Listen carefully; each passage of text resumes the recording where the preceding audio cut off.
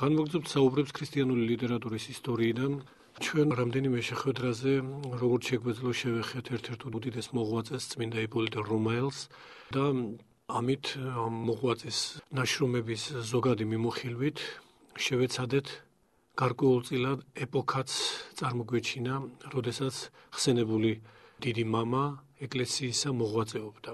რამდენჯერმე იპოლიტე რომაელთან დაკავშირებითაც უფრო ადრე ტერტულიანესთან მიმართებაშიც და ცალკეულ საკითხთა განხილვის დროსაც ჩვენ ვახსენებდით და რა თქმა უნდა ყოველთვის ვახსენებთ ამავე ეპოქის უდიდეს მოღვაწეს ფაქტობრივად მომდევნო თაობის წარმომადგენელს წმინდა იპოლიტე რომელთან შედარებით კართაგენის ეკლესიის როგორც ეს მიღებული გამონათქვამია ეკლესიის მამათა მიმართ კართაგენის ეკლესიის უჭკნობ გვირგვინს მინდა კვიპრიანე კართაგენელს რომელიც ტერტულიანეს მსგავსად ცხადია აფრიკელი ღვთისმეტყველი გახდათ და როგორც ადრეც აღნიშნავდით თავისი უაღრესად ღრმად გამომიძიებელი და ღვთივმიმადლებული გონებით მართლად განჭვრეთ და რა წინამორბედ საეკლესიო მოღვაწეთა შრომებს კეთილს მართლმადიდებლურს ყოველივეს განიკუთვნებდა ითვისებდა და თავადვე სამოძღვრო გამოთქმას ჭეშმარიტი სწავლებისას დიდ ღირსებას და ზედმიწევნითობას სცენდა. ამას აღნიშნავთ, იმიტომ რომ ტერტულიანე, რომელიც როგორც არაერთგზის აღვნიშნავს 207 წლის შემდეგ განუდგა ეკლესიას, შესაბამისად ანათემირებულია ჩვეულებრივ გვიანდელ მოღვაწეთაგან ყოველთვის იკიცხებოდა, თუმცა ამ გაკიცხვასთან ერთად თანაარსებობს, რა თქმა უნდა, ამაზე ასევე არაერთგზის ქონია ჩვენ ხაზგასმა თანაარსებობს ტერტულიანეს ღირსეულ სწავლებათა. მისი პირდაპირ შეიძლება ითქვას საფრთხისმეტყველო მიღწევების გამოყოფა და ამ კუთხით ხსენებული პიროვნებისადმი გარკვეული ღირსების განკუთვნა. და ეს თანაარსებობა გაკიცხვასთან ერთად ღირსებითი ნიშნით ტერტულიანეს მართლმადიდებლური სწავლებებისადმი კეთილგანწყობილი დამოკიდებულება სწორედ კვიპრიანე კართაგენელისგან გახლავთ საფუძველ დადებული, რადგანაც პირველმა მან შეაფასა ტერტულიანეს მემკვიდრეობა და ხელაღებით კი არ უყვია მისი შრომები, როგორც სხვათა შორის თვითონ ტერტულიანეს ახასიათებდა, რაზე ჩვენ საუბრობდით, არამედ ღირსეულ ნაწილს ყოველთვის გამოარჩევდა უღირსისგან და ფაქტობრივად როგორც სათნო გადმოცემას წამებს ამის შესახებ, ყოველ დღე იგი ამა თუ იმ ნაშრომს ტერტულიანესას გულდასმით ეცნობოდა, უწოდებდა რა მას, ესე იგი ტერტულიანეს მოძღვარს და თავის თანაშემწეს თითქმის ყოველ დღე ამგვარად მიმართავდა მომაწოდე მოძღვარი. იგულისხმებოდა ტერტულიანეს ამა თუ იმ ნაშრომის მისდამი მიწოდება და რა თქმა უნდა ეს ნაშრომები ჩვეულებრივ 207 წლამდელ პერიოდს განეკუთვნებოდა ტერტულიანეს მოღვაწეობისას, ანუ იმ ეპოქას, როდესაც ტერტულიანი ჯერ კიდევ მყარი მართლმადიდებელი იყო.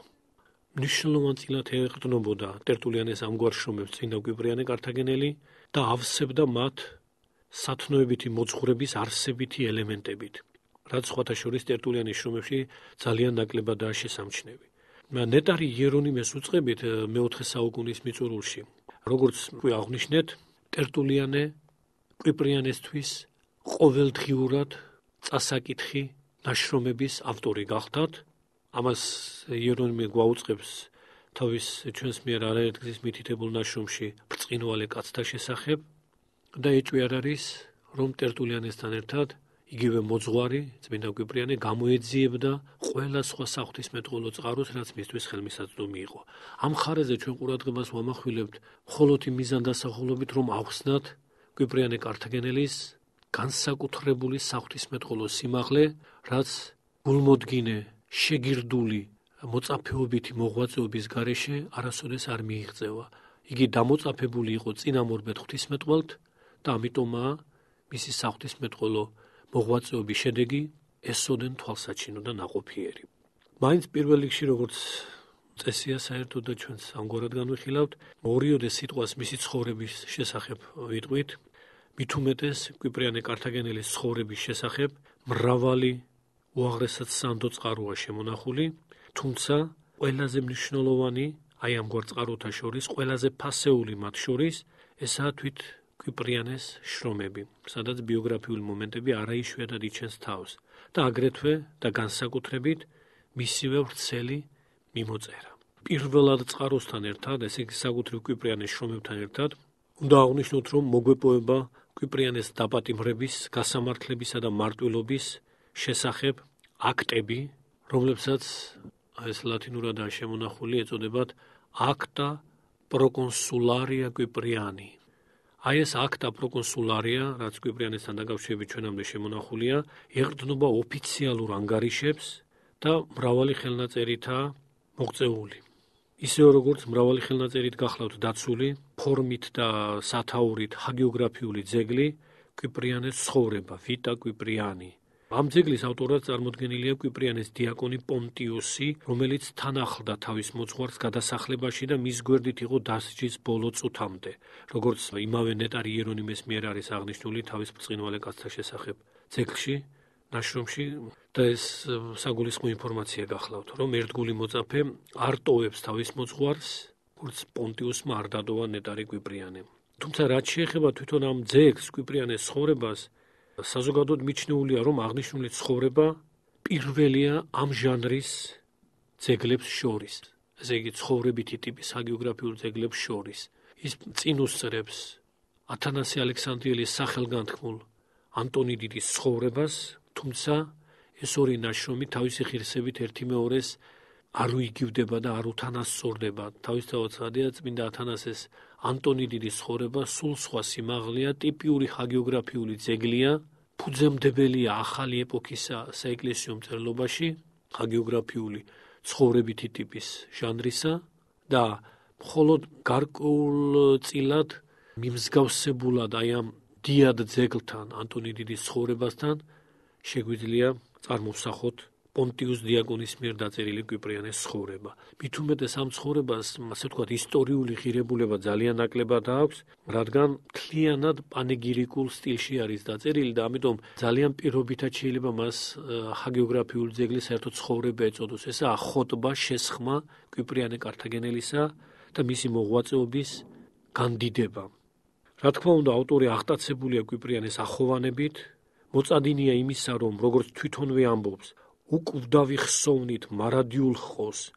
ეს უბადლო და აღმატებული მაგალითი შთამომავლობის სასარგებლოდ ეს სიტყვები წავიკითხეთ თვით ამ პონტიუსის სიტყვები გახლავთ. ეს პირველ თავში ეს სიტყვები აქვს ამ მიზანდასახულობას. გვიმჟღავნებს ჩვენ რატომ დაწერა ეს ძეგლი? კვიპრიანეს ცხოვრება კვლავ გავიმეორებ რომ უკვდავი ხსოვნით მარადიულ ხოს ეს უბადლო და აღმატებული მაგალითი შთამომავლობის სასარგებლოდ ასე რომ ეს როგორც მკვლევარები მიუთითებენ და მართებული გახლავთ ეს მითითება აღნიშნული ცხოვრება ფაქტობრივად წარმოადგენს შეგონებითი მიზანდასახულობით დაწერილ პანეგირიკულ ძეგლს ასე ვთქვათ ბიოგრაფიას.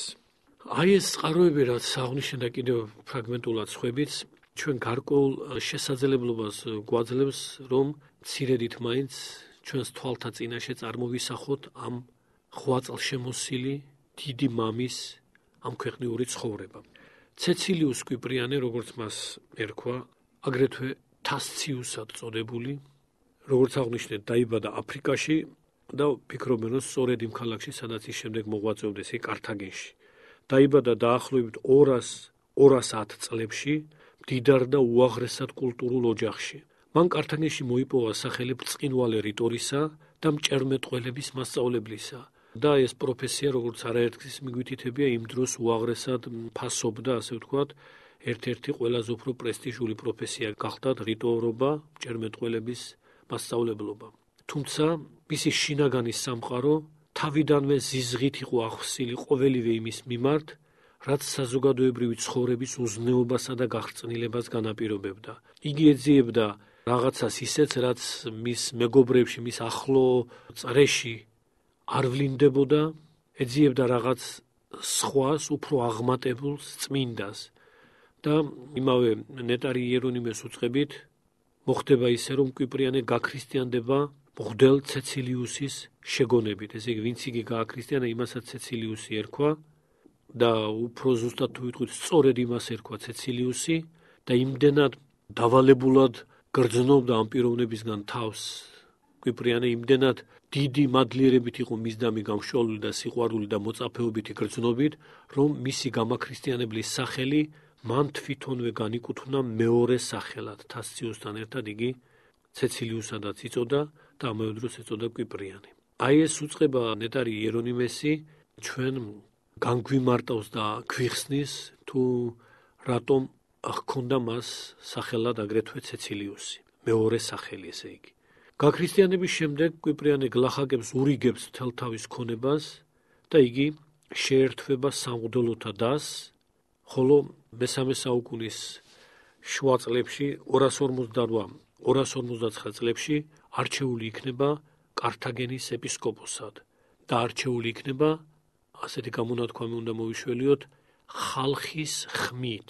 რაშიც იგულისხმება ის, რომ წმინდა კვიპრიანეს ეპისკოპოსად ხელდასხმას ეთანხმებოდა მთელი მრევლი, რადგანაც მისი მოღვაწეობა მრევლისთვის მთლიანობაში იყო ცნობილი მანამდეც. და სწორედ კვიპრიანი ხდება ეპისკოპოსად ხელდასხმული, მიუხედავად ზოგი ხანდაზმული მღვდლის, მათ შორის ვინმე ნოვატის დაპირისპირებისა. ეს ნოვატი ჩვენ არ უნდა აგვერიოს მეორე დიდ მოპირისპირეში კვიპრიანესი ნოვატიანუსში, რომელსაც ჩვენ შემდეგ ცალკე განვიხილავთ. ამ მოვლენიდან დაახლოებით 1 წლის შემდეგ იწყება იმპერატორ დეკიუსის სახელთან დაკავშირებული დევნულება ქრისტიანებისა, ესე იგი 250 წელს და კვიპრიანე რომელიც განერიდება დევნულებას შეეფარება რაღაც საიმედო ადგილს საიდანაც მუდმივი მიმოწერა და კავშირი აქვს თავის მრევლთან და სამღვდელოებასთან. თუმცა მისმა აი ამგვარმა თავის გარიდებამ ზოგიერთების უკმაყოფილება გამოიწვია, რადგანაც ყველა დროში, ისე როგორც ჩვენ დროში, ასეთ ჟამს აუცილებლად გამოჩნდებიან ეგრეთ უკიდურესად ბჭყალებში, რომ თქვა, ასევე ბჭყალებში კლდისებრ მართლმადიდებლები, რომლებიც ეძიებენ მომენტს ღირსეული მოძღვარი რაიმეთი შერყვნან რაიმეთი მის პატივს მრევლში ნიადაგი გამოაცალონ. და რადგანაც კვიპრიანი კართაგენელს უზომო პატივისცემა ჰქონდა მრევლში ამის მოშურნენი და იმითაც შურით აღბურგებულნი მის მიმართ რომ სწორედ იგი აკურთხეს ეპისკოპოსად და არა სხვანი ეს მომენტი მრავალმა რომ კვიპრიანი განერიდა დევნულებას გამოუძიებლად განუსჯელად ისე რომ მიზეზი არ გამოუკითხავს მრავალმა ხელთიპყრა ეს ფაქტი რომ კვიპრიანისთვის სახელი გაეტეხა. აქვე ჩვენ უნდა აღვნიშნოთ, რომ რომის ეკლესიის ღდოლები და დიაკონები, რომლებიც ფაბიანე რომის პაპის მარტვილობის შესახებ წერილობით ამცნობდნენ ქრისტიანებს ამ პერიოდში, ამავე დროს ეპისტოლეს აგზავნიან, ცნობილი გახლავთ ეს ეპისტოლე, რომელშიც ამ ეპისტოლეში გაკვირვებას გამოთქვამენ კართაგენის ეპისკოპოსის განრიდების შესახებ. ჩვენ ამ მოვლენას იმ პირველთან რა თქმა უნდა არ ვათანაბრებთ, იმიტომ რომ ისინი ამ შემთხვევაში დაინტერესდნენ ამ მოვლენით, მათ არ განუკიცხავთ კვიპრიანე. მიზეზი არის მათგან საძიებელი თუ რატომ მოიქცა ამგვარად კვიპრიანე. და სწორედ მათ პასუხად კვიპრიანემ ამ წერილის ადრესატებს მიაწოდა დაწვრილებითი ანგარიში თავისი მოღვაწეობისა და აქვე გადმოსცა ის მიზეზები დღეისათვისაც უაღრესად მნიშვნელოვანი ჩვენთვის და ანგარიშგასაწევი რის გამოც დევნულებას განერიდა იგი. ჩვენ შეგვიძლია მკითხველს და მსმენელს მიუთითოთ ვისაც აინტერესებს ეს გახლავთ კვიპრიანეს ეპისტოლეთა შორის რიგით მეოცე ეპისტოლე სადაც ეს მიზეზებია განმარტებული. მასში კერძოდ კითხულობთ. აქ მოვიტანთ ციტატას საჭიროდ მივიჩნიე მომეწერა თქვენთვის ეს ეპისტოლე, რომ მეუწყებინა ჩვენი ქმედების, წესგანგებასთან ჩვენი დამოკიდებულებისა და ჩვენი ღწის შესახებ. მაცხოვრის სწავლებათა თანახმად ფიქრობდი რა არა საკუთრივ ჩემი თავის შველაზე, არამედ უმალ მთელი საზოგადოების სიმშვიდისა გამო დროებით განრიდება ვამჯობინე, რომ ჩემი იქ ყოფნით იქ იგულისხმება დევნულობის შუაგულში. და დაურიდებლობით კიდე უფრო არაღმეგზნო ამტყდარი მშფოთვარებანი. ამასთან ხორციელად განშორებული სულიერად იქვიყავი.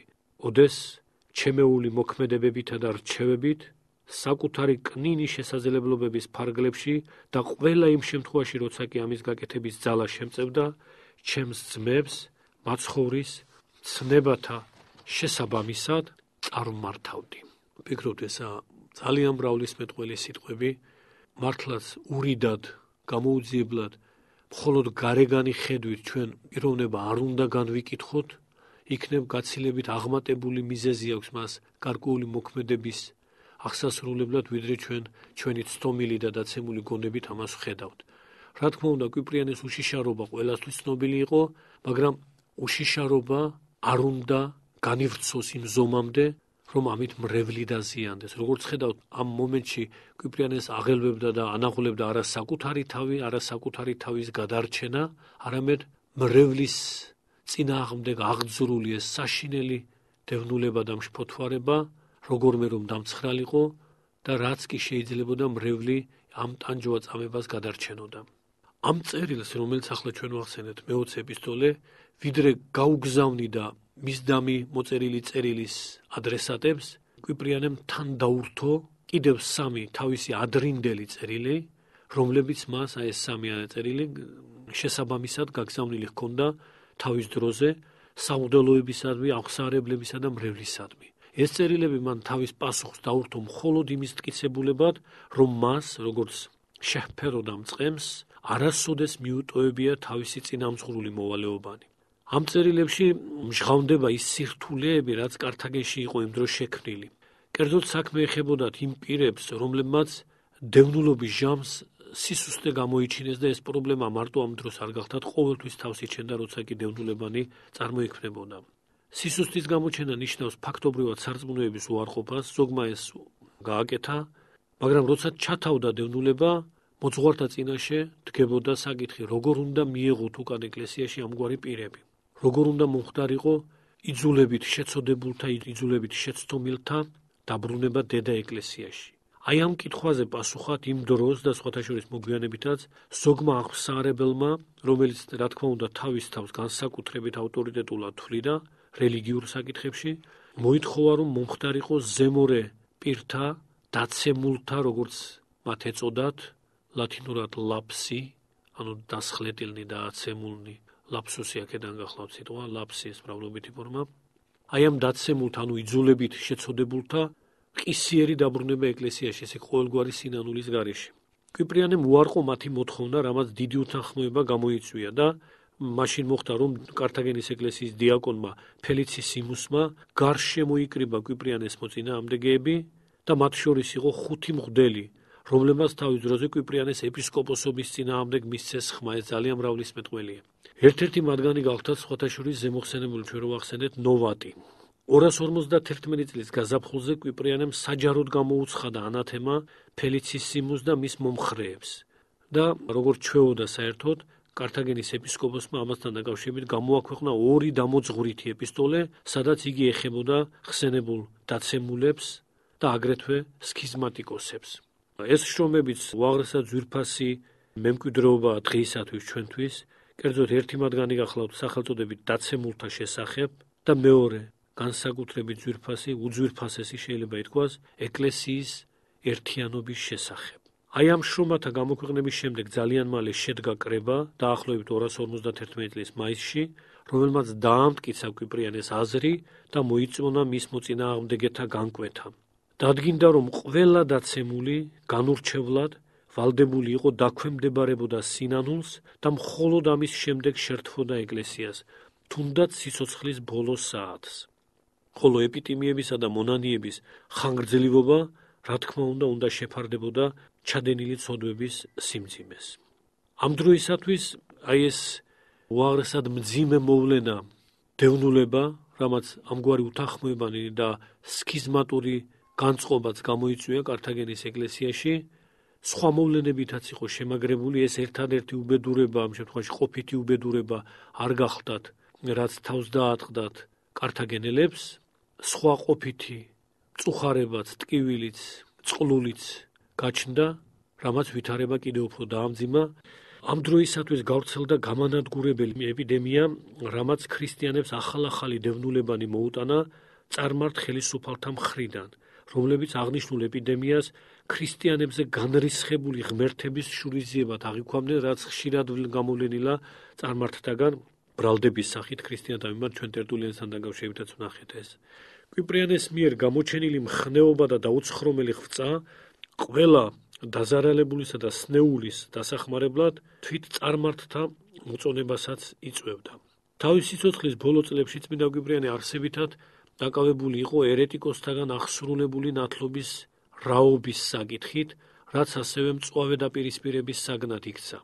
კართაგენში ჩამოყალიბებული საეკლესიო ტრადიცია როგორც ჩანს კატეგორიულად უარყოფდა ერეტიკოსთა ყოველგვარ მღვდელმოქმედებას. კვიპრიანემდე ერეტიკოსთა მსახურებას ძალადაკარგულად თვლიდა სრულიად აშკარად ტერტულიანე თავის შრომაში ნათლისღების შესახებ. ეს აზრი დაამტკიცა აგრეთვე აფრიკისა და ნუმიდიის ეპისკოპოსთა დიდმა კრებამ, რაც მოიწვია აგრიპინუსმა დაახლოებით 220 წელს. და ამ კრების დადგენილება განამტკიცა სამმა მომდევნო კრებამ, რომლებიც გამართა კართაგენში 255-256 წლებში, სწორედ კვიპრიანეს თავმჯდომარეობით. და ეს ვითარება იმდენად რთულად გადასაჭრელი აღმოჩნდა და რა თქმა უნდა ეს აზრი არ გახლავთ საეკლესიო ტრადიციის აზრი, რომ უკლებლივ ყველა პიროვნება ნებისმიერი ერესისგან ეკლესიაში მოსული განურჩევლად უნდა იქნეს ხელახლა მონათლული, ამას ეკლესია არ აღიარებს ამ შემთხვევაში. რა თქმა უნდა ეს კერძო აზრი იყო კვიპრიანესი და კართაგენის ეკლესიისა. ამიტომ პაპმა სტეფანემ რომელიც პაპობდა 254-256 წლებში გაკიცხა აღნიშნული პოზიცია და ნოვაციად ანუ არატრადიციულ სიახლეთ შეაფასა იგი. კვიპრიანემ არ გამოავლინა აზრის შეცვლის ნება და დაპირისპირება კართაგენსა და რომს შორის საშიშ მიჯნამდე მივიდა. სწორედ ამ დროს დაემთხვა იმპერატორ ვალერიანეს ედიქტი ქრისტიანთა წინააღმდეგ, რასაც შედეგად მოხდა ახალი ტალღა დევნულებისა, დაატუსაღეს პაპი სტეფანე, რომელმაც იმარტვილა სარწმუნოებისათვის, კვიპრიანე კი გადაასახლეს კრუბისში 257 წლის 30 აგვისტოს და ერთი წლის შემდეგ 258 წლის 14 სექტემბერს კვიპრიანეს თავი მოჰკვეთეს კართაგენის ახლოს და როგორც ცნობილია, იგი არის პირველი აფრიკის ეპისკოპოსთა შორის, რომელმაც მარტვილობა დაითმინა.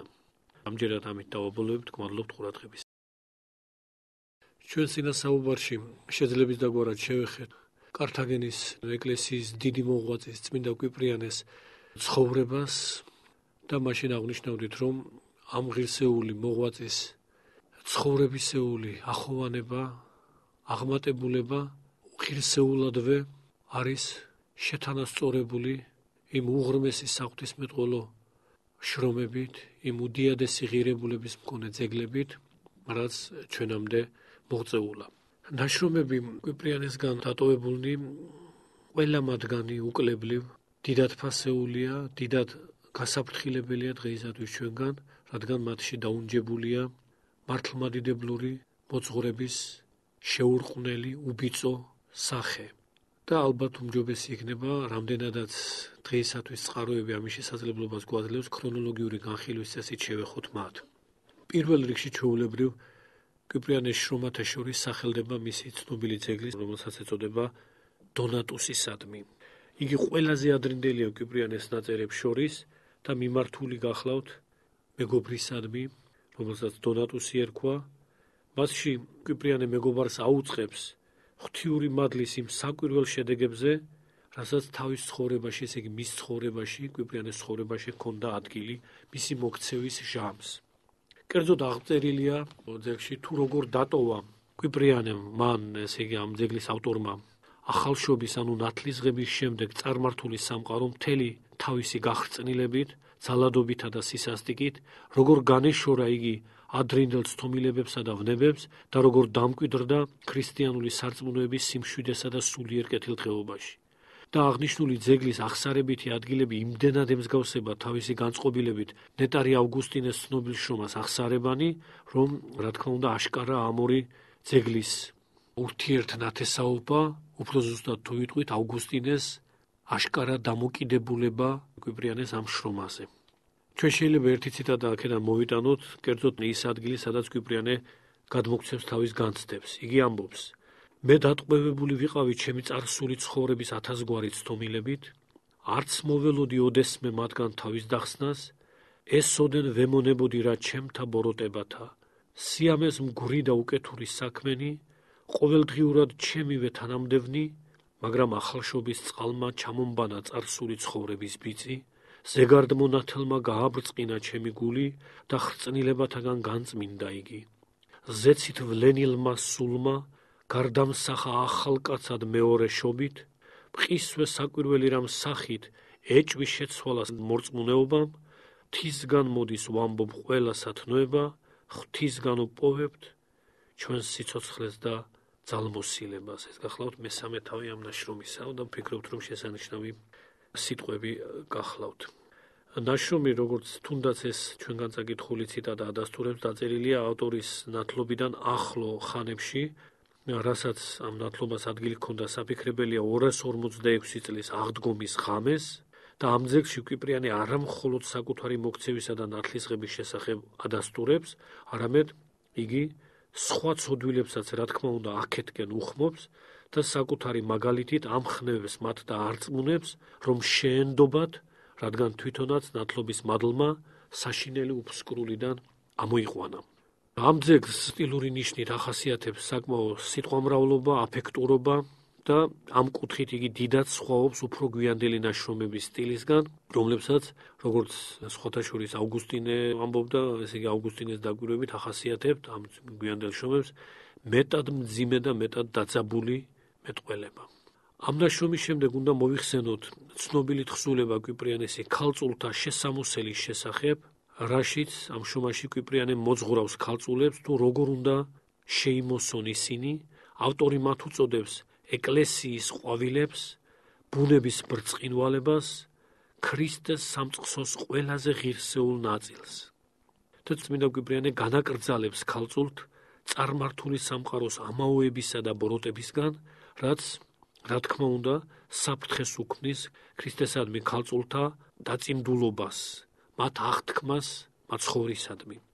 კართაგენის ეპისკოპოსი განაჩინებს, რომ მაცხოვრის საზძლონი უნდა იმოსებოდნენ უბრალოდ სადაც სამკაულებისა და კოსმეტიკის გარეშე, რადგან ესენი დემონთაგან არის მოგონილი. თუ მდიდარი ხარ ამბობს კიპრიანე, კეთილად უნდა მოიხმარო კიდეც, არათუ ფუჭი წადილის აღსასრულებლად, არამედ ღვთისსათნო საქმეთა სამოქმედოდ და უპოვართა შესაწევნელად ღვთის საზოლოებმა თავი უნდა არიდონ ხალხმრავალ წვეულებებს და აბანოებში გაშიშვლებას. კვიპრიანებმა არაერთ გზის შეაგონებს, რომ მткиცეთ უნდა დაიცვან ის აღთქმა, რაზეც ახლა ვსაუბრობდით, ქალწულობის აღთქმა და სულიერი მზერა უნდა მიაპრონ იმ ქვეყნიურ ჯილდოს, რაც მათ მიეგებათ. კვლევართა აზრით, დასაბუთებულად, არგუმენტირებულად ეს თხზულება დაიწერა კიპრიანის ეპისკოპოსად ხელდასხმის ახლო ხანებში, იქ დაახლოებით 259 წელს.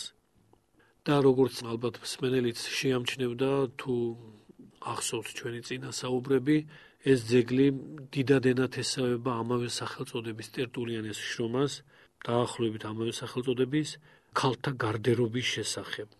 კვიბრიანეს ეს მეორე ძეგლი სტილურად გაცილებით დახვეწილია ვიდრე პირველი და შეიძლება და აგვენიშნა რომ ავგუსტინე ამ თხზულებას ესე იგი მეორე შრომას კვიბრიანესა საზოგადო სტილის ნიმუშად დაუსახავს ახალბედა ქრისტიან ორატორებს ლათინურენოვან ორატორებს. შემდეგი შრომა, რომელსაც უნდა შევეხოთ, ეს გახლავთ კვიპრიანეს თხზულება სახელწოდებით დაცემულთა შესახებ, აი ლაფსი ზემოთ რომ ახსენეთ წინასაუბარში კვიპრიანეს ცხოვრებას, როდესაც მიმოიხილავდით აი ლაფსუსების, ანუ იმ დაცემულების იძულებით ცდომილთა მიმართ კვიპრიანეს დაწერილი აქვს სპეციალური შრომა ამავე სახელწოდებით დაცემულთა შესახებ. ეს შრომა კვიპრიანემ დაწერა თავისთავად ხადია დევნულობის დაცხრობის ახლო პერიოდში, იგი 251 წლის გაზაფხულზე, როდესაც იგი უკან დაბრუნდა კართაგენში და როგორც სათაურიდან ჩანს, ავტორი იმ პირთა ეკლესიაში დაბრუნების საგით ეხება, რომლებმაც დევნულების ჟამს იძულებით უარყვეს რწმენა ან სხვაგვარად შეიბილწა მათი კაცობრივი ბუნება, გაუკუღმართებანი, იძულებითნი, მაგრამ მაინც შეეხო მათ. ამ ნაშრომში ავტორი უპირველესად რა თქმა უნდა ხმადლობს უფალს, რომ კვლავ დამყარდა მშვიდობა და შემდეგ კვიპრიანი აქებს მარტვილებს, რომელთა ახოვანებამაც დაზლია ამას სოფლის კვეთებანი და რომლებმაც ისევ როგორც ყველა დროში, კვიპრიანეს დროსაც დიდებული სანახაობა უძღვნეს უფალს. ეს მის სიტყვებია, რითაც მაგალითი მისცეს თანამოწმეებს. მაგრამ ეპისკოპოსის თქმით, სიხარული კვლავ მწუხარებამ შეცვალა, რადგან მრავალი ქრისტიანი ცოდვით დაეცა განსაცდელის წინაშე და ზოგიერთებმა მანამდე სწირეს მსხვერპლი კერპებს, ვიდრე ძალმომრეობას ექნებოდა ადგილი. რა თქმა უნდა, შიშის გამო. შობლებმა შვილებიც კი ჩართეს, ასეთი შემთხვევებიც იყო წარმართულ მსახურებაში, ამას კვიპრიანე უთითებს, სხვები კი ფუჭ სიმდიდრეს დახარბებულნი დაეცნენ და უარყვეს რწმენა. რა უნდა მოიმოქმედოთ ამგვართა მიმართ ამბობს კვიპრიანი და განაჩინებს მათი შენდობა მყისიერად არ უნდა მოხდეს და კვიპრიანე ურჩევს ამ საარებელ ქრისტიანებს რომ არ იშუამდგომლონ ეგზომცდომილთა გამო, იმიტომ რომ იყო ამის მაგალითები, როდესაც ამხსარებელი ქრისტიანები გულმოწყალების მოყვარულობის გამო შუამდგომლობდნენ დაცემულებს ეპისკოპოსის წინაშე. კვიპრიანე მიუთითებს მათ, რომ დამთმობელობა ამ შემთხვევაში მხოლოდ დააბრკოლებდა მათ ნებაყოფლობის სინანულს და ავტორი ცხადია ითვალისწინებს დანაშაულის სიმძიმეს და ეთანხმება იმ აზრს, რომ მეტილმობიერება უნდა გამოავლინონ იმ პირთა მიმართ, რომლებიც მხოლოდ დიდი ტანჯვაწამების შემდეგ მოუძლურდნენ. ერთია, ვინც ძალმომრეობამდე მხოლოდ შიშის გამო ცოდვაში ჩავარდა ეთაყვანა კერპებს და სხვა და მეორეა, როდესაც პიროვნებამ დიდი ტანჯვაწამების შემდეგ გამოიჩინა ამგვარი მოუძლურება. მიუხედავად იმისა, რომ ესენი ხოვანი გამოჩნდნენ მნიშვნელოვნად, ხოლო მეორენი უაღრესად გულ სუსტნი, ის პირველნი, მაინც მიუხედავად ამისა, ყოველას მართებს, რომ დაექვემდებაროს სინანულს და მათ შორის, როგორც მიუთითებს კვიპრიანე, ისინიც ეგრეთ წოდებული, ასე ეწოდება მათ კვიპრიანეს ტექსში, ლიბელატიკებიც, ლიბელატიკი ამბობს იგი, ანუ ის ქრისტიანები, რომლებიც დევნულებისგან თავის დასაღწევად იძებდნენ წარმართონ სხვებშეწინვაში მონაწილეობის დამადასტურებელ ცნობას, რაც გაიცემოდა ასე. სპეციალური ცნობა, აი ეს ლიბელატიკუმი, ვისაც ჰქონდა და ლიბელატიკები, ანუ ამ ცნობის მფლობელები ვინც იყვნენ, ისინიც რა თქმა უნდა სინანულს დაექვემდებარებიან მიუხედავად იმისა, მართლაც გამოიყენეს თუ არა ეს ცნობა და მართლაც მიიღეს თუ არა სხვებშეწინვაში მონაწილეობა. ბევრ მათგანს მართლაც არ მიუღია არანაირი მონაწილეობა, მხოლოდ ეს ცნობა აიღო, რომ ცნობის საფუძველზე და ცნობის მეშვეობით დევნელთაგან თავი დაეღწია. მაგრამ მიუხედავად იმისა, რომ სინამდვილეში მათ ეს არ უმოქმედიათ, კვიპრიანე კართაგენელი, როგორც უკვე აღნიშნეთ, ამგვართა სინანულსაც აუცილებლად თulis, რადგან თუ ხორციელი ხელები არა, სინდისი მაინც მათ შემწიკვლებული აქვთ. ჩვენ შეგვიძლია დავძინოთ, რომ ეს შრომა იმდენად გავრცელებული იყო თავის დროზე, რომ თავისი გამომზეურების საჯაროდ გამოქვეყნების პირველ მომენტშიც კრებაზე იქნა წაკითხული და აქედან მიიღო ამ ძეგლმა ასეთი საყოველთაო აღიარება, ხოლო ის კრება, რომელზეც იგი წაკითხული იქნა, კართაგენში გამართა 251 წლის გაზაფხულზე. აქვე ჩვენს მიერ ზემოხსენებულ ძეგლს შევეხებით სახელწოდებით ეკლესიის ერთიანობის შესახებ ალბათ ერთ-ერთი ყველაზე უმნიშვნელოვანესი კვიპრიანის შრომათა შორის, ყველაზე ღირებული და ეს კვლევართა ზოგადი აზრია, საერთო აზრია. ეს ძეგლი ეხება ერთი მხრივ ჩვენს მიერ შემდგომ განსახილველი ერეტიკოსის ნოვატიანუსის მეორე მხრივ კი უკვე ზემოხსენებული კართაგენელი ფელიცისიმუსის სქიზმას. ესე იგი ეს პირველი ნაწილი კვლევარების ასეთ მეორე ნაწილი მიიჩნევს რომ ამ ძეგლის არაპირდაპირი ადრესატი მხოლოდ ფელიცისიმუსია. ფელიცისიმუსი ამ შემთხვევაში მოპირისპირია ნოვატიანუსისა, მაგრამ ორივენი სხვადასხვა მხრიდან ეპაექრებოდნენ კვიპრიანეს. ხსულების დაწერის თარიღია, როგორც ფიქრობენ, 251 წლის მაისი, როდესაც ზემოხსენებული კართაგენის კრება გამართა და როგორც კვიპრიანეს 54 ეპისტოლიდან ვიგებთ, აღნიშნული ნაშრომი ავტორმა გაუგზავნა რომაელ აღსარებლებს, რომლებიც ჯერაც ნოვატიანუსის მხარეს იყვნენ ახალი პაპის კორნელის წინააღმდეგ ბრძოლაში ჩვენ კორნელისაც შევეხეთ თავის დროზე, როდესაც რომის პაპებზე ქონდა მსჯელობა. ძეგლის შესავალში სქიზმებისა და ერესების სათავედ ისე როგორც მრავალ სხვა ანტიერეტიკოს მოღვაწესთან გამოცხადებულია ეშმაკეული ძალა და წმინდა კვიპრიანეს სწავლებით სქიზმა და ერესი უფრო დიდ უბერდურებად არის შერაცხილი და ჭეშმარიტად ასეა ვიდრე დევნულება. რადგან ისინი ესე იგი ეს სქიზმა და ერესი არღვევენ მორწმუნეთა შინაგან ერთიანობას, სარწმუნოებას, მაშინ როცა ყოველი ქრისტიანი ერთ წმინდა კათოლიკე ეკლესიაში უნდა მკვიდრობდეს, რადგან სხვა ეკლესია არ არსებობს.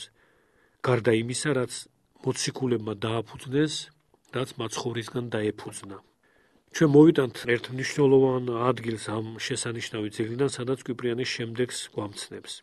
უფალმა უთხრა პეტრეს, და მე გეტყვი შენ, რამე თუ შენ ხარ კლდე და ამას კლდესაზე და აღვაშენო ეკლესიაი ჩემი და ბჭენი ჯოჯოხეთისანი ვერ ერეოდიან მას. შემდეგ ვიპრიანე განაგრძობს. აღდგომის შემდეგ მაცხოვარი ყველა მოციქულს ანიჭებს თანაბარ ძალმოსილებას. ჩვენ აქ უნდა აღნიშნოთ, რომ კვიპრიანე ერთ-ერთი იმ უდიდეს მოღვაწეთაგანია, რომელიც ასეთ უადრეს ეპოქაშივე მთლიანად საფუძველს აცლის და ამხილებს და აღმოფხრის გვიან კათოლიკურ ეგრეთ წოდებულ დოგმატს, რომის პაპის უზენაესობის შესახებ თითქოს და იმის შესაბამისად რომ მოციქულთაგან მხოლოდ პეტრე მოციქული იყო განსაკუთრებული უფლისმიერი უფლებამოსილებით ახსილი და მისი მემკვიდრეა თითქოს რომის პაპი. ეს აზრი მაშინაც არსებობდა როგორც ჩანს გარკვეულწილად, იმიტომ რომ კვიპრიანი კათოლიკე მრავალგზის და კატეგორიულად უპირისპირდება ამ შეხედულებას, თუნდაც ამ სიტყვებითაც, რომ პეტრესადმი თქმული, ყველა მოციქული სადმი თქმულია და ყველა მოციქული თანაბარი ძალმოსილებისა აღდგომის შემდეგ უფლისგან. ამიტომ კვიპრიანი განაგრძობს, აღდგომის შემდეგ იგი ყველა მოციქულს ანიჭებს თანაბარ ძალმოსილებას და ასე მიმართავს მათ შვიდობაი თქვენთანა, ვითარცა მომავლინა მე მამამან, მეცსა წარგავლინებ თქვენ და ვითარცა ესე თქვა, შეხბერა მათ და ხრქვა, მიიღეთ სული წმიდაი, უკვე თუ ვიეთნიმე მიუტევნეთ სოდვანი, მიეტევნენ მათ და ვიეთნიმე შეიპყრნეთ, შეპრობილნი იყვნენ. ამასთან ერთიანობის წარმოსაჩენად განაგზობს კვიპრიანე, უფალმა თავისი სიტყვის ძალმოსილებით წარმართებულ ხო ამერთიანობის სათავე გამომდინარე იქიდან რომ ერთისგან დაიწყო მან და მართლაც დანარჩენი მოციქულებიც იყვნენ ის რაც იყო პეტრე. აი ეს რაც აღნიშნეთ რომ პეტრე და სხვა მოციქულნი თანაბარი ძალმოსილებისანი არიან კვლავ გამიმეორებთ ერთისგან დაიწყო მან და მართლაც დანარჩენი მოციქულებიც იყვნენ ის რაც იყო პეტრე ისინიც ქველმოქმედებდნენ თანაბრად ეზიარებოდნენ რა პატივსა და ძალმოსილებას, მაგრამ ეს ყოველივე სათავეს იღებს ერთიანობისგან. ამგვარადვე განისაზღვრება ქრისტეს ეკლესიის ერთიანობაც. ვინც არ შეერთვის ამ ერთიანობას ეკლესიისას, განასჯერა მას, რომ შეერთებულია რწმენასთან, განასარწმუნოა, რომ ეკლესიაში მყოფობდეს ის, ვინც ეწინააღმდეგება და უპირისპირდება ეკლესიას, შევინარჩუნოთ და მткиცედ დავიცვადეს ერთიანობა, განსაკუთრებით ეპისკოპოსებმა, რომლებიც ეკლესიის წინამძღვრები ვართ, რათა ვწამოთ, რომ თანაბრად ერთია და განუყოფელი ეპისკოპატი. საეპისკოპოსო პატივი ერთია და ყოველი ეპისკოპოსი მთელისგან განუყოფლად ფლობს ამ პატივის ნაწილს. ჰგიეს ერთი მხოლო ეკლესია, რომელიც თავისი მარადმზარდი ნოყიერებით და ნაყოფიერებით უფრო და უფრო მეტის მომცველი ხდება. მზე მრავალ სხივს გვაშუქებს, მაგრამ ერთია მანათობელი წყარო.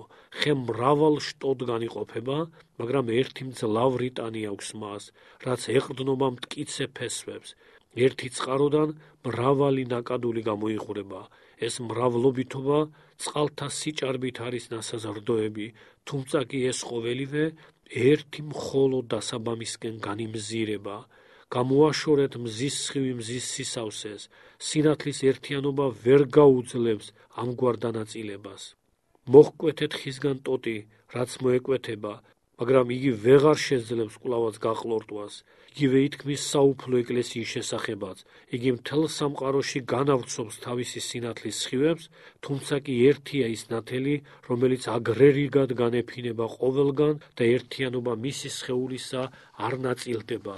იგი თავის შტოებს მთელ მიწაზე გარდაართხამს ძლავრი ცხოველმყოფელობით და შორს მიმოღრის თავის ზეჭარბ წყლებს, თუმცა კი გიეს ერთი წყარო, ერთი სათავე, ერთი მხოლო დედა, იგია ჩვენი მშობელი, მისი რძე გვასაზრდოებს ჩვენ, მისი სულით ვართ ცხოველ ქმნილები.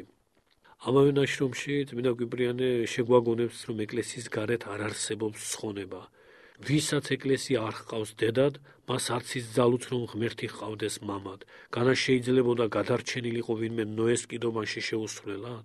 ამგვარადვე არავის ძალუც ცხონდეს ეკლესიის გარეთ.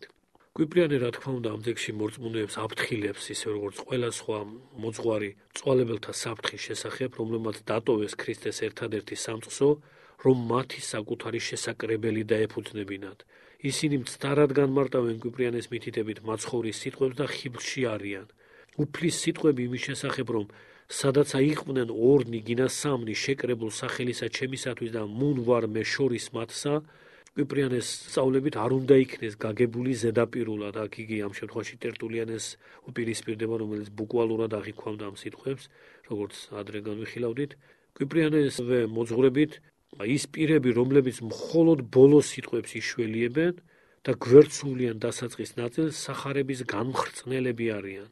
ეკლესიის გარეთ არ არსებობს არც მარტვილობა, თუნდაც რომ უფლის სახელით კვდებოდეს ვინმე, სისხლს არ ძალუც წვალებლობისა და სქიზმის ბიცისგან გამბანვა. სრულ მოძღვარნი უფრო მძიმე ცოდვილნი არიან, ვიდრე განდგომილები, ანუ აპოსტატები, ანუ დევნულებათა ჟამს დაცემულები. არ არის გასაკვირი, რომ თვით ამხსარებლებიც კი ზოგჯერ კარგავენ წმენას და მათი გმირული ქმედება მაინც ვერ იცავს მათ ეშმაკის მახეთაგან. თუ ვინმე იტანჯა ქრისტესთვის, უნდა გააორმაგოს მან სიფხიზლე, რადგან მის დამი უფრო მეტად გამძაფრებულია უკეთური ძალა. კვიპრიანე ამავე ძილში უფლის მეორედ მოსვლის მოლოდის უцоცხლებს მორწმუნეებს და აღნიშნავს, რომ ნეტამც ყველა განდგომილი კლავ დაუბრუნდეს დედა ეკლესიას, რადგან ნიშნებია იმისა, რომ ახლოსაა უფლის მოსვლაო. რა თქმა უნდა, აქ არეგულისხმებოდა დღე და საათი უფლის მოსვლას ზოგადად უფლის განკაცების და ამაღლების შემდეგ ყოველ წამიერად მისი მეორედ მოსვლის მოლოდინი უნდა გქონდეს. აი ესაა გამოხატული კვიპრიანეს სწავლებაში, რომ ახლოსაა უფლის მოსვლა, მარად ახლოს უნდა იყოს ყველა ჩვენთაგანისთვის. აქ შევჩერდებით, გმადლობთ ყურადღებისას. განვაგრძობთ საუბრებს ქრისტიანული ლიტერატურის ისტორიიდან. ჩვენ წინა შეხვედრაზე რამდენიმე მნიშვნელოვან შრომას წმინდა გვიბრიანი კართაგენელისას შევეხეთ, განსაკუთრებით ისეთ ღირსეულ ძეგლს, როგორიც გახდათ თხსულება სახელწოდებით ეკლესიის ერთიანობის შესახებ. ერთსულოვნად აღიარებული ყველაზე მნიშვნელოვან ნაშრომად გვიბრიანე კართაგენელის ლიტერატურულ საღვთისმეტყველო მემკვიდრეობაში.